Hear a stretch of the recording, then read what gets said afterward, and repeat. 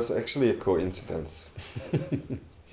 we met our protagonist um, by a coincidence while doing research for another film, and we were fascinated by her right away, and that's we decided that she needs her own film, so that's how it started.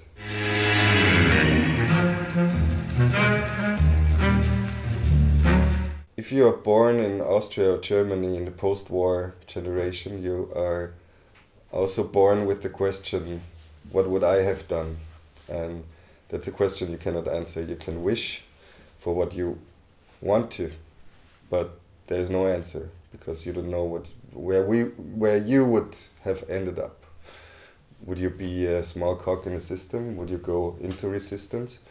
And for me personally, what's mm, the search for maybe not for the answer to that question, but to understand the question better, uh, to get to a point where I can say either.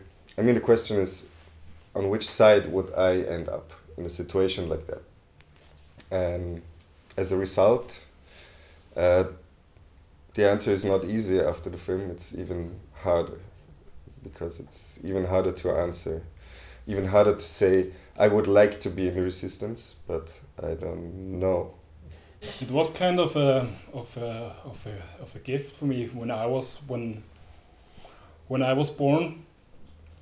1984 so there I, I didn't have the chance anymore to ask my grandparents about that because i was too young before they died or before they lost the possibility to talk about that topic with me so it was really uh, a coincidence meeting born 40 years after world war ii and then growing up and then meeting uh, a woman who really worked there and who was a grown up there and worked in the in the in the center of it. So it was really the last possibility to ask that question which are in our head because it's our history